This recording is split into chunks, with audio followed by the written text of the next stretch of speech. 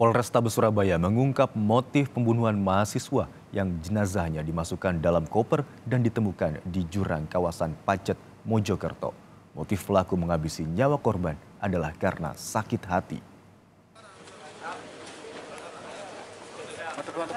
Kapolres Tabes Surabaya, Kombes Pasma Royce mengatakan pelaku dan korban telah saling kenal selama lima tahun.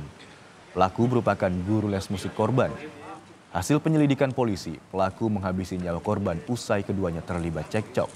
Selain karena sakit hati, pelaku tega membunuh korban juga karena ingin menguasai harta korban.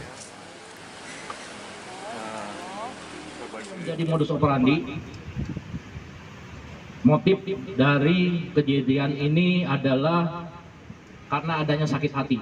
Sekaligus pelaku ingin menguasai barang berharga dari korbannya, baik itu mobil dan handphone.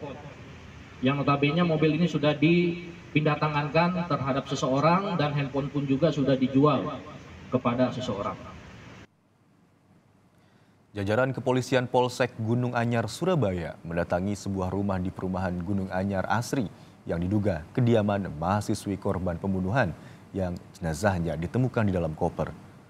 Setelah mendatangi lokasi dan melakukan pengecekan, ternyata korban bersama keluarga sudah tak lagi tinggal di rumah tersebut dan sudah pindah rumah sejak dua tahun lalu.